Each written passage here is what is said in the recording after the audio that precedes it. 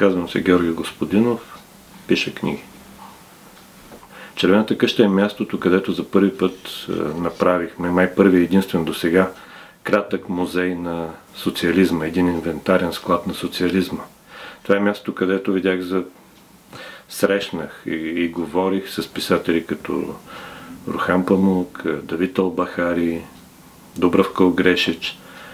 Червената къща е мястото, където а, участвах в разговори, които нямаше къде другаде да се състоят. Червената къща работи за, през цялото това време и за рефлексията, и за паметта ни, и за паметта към близкото минало. И най-важното, тя създава критическо мислене. А това е полезно за всяка държава, включително за всяко министерство. Тя не просто трябва да остане, а трябва да, да продължи да действа.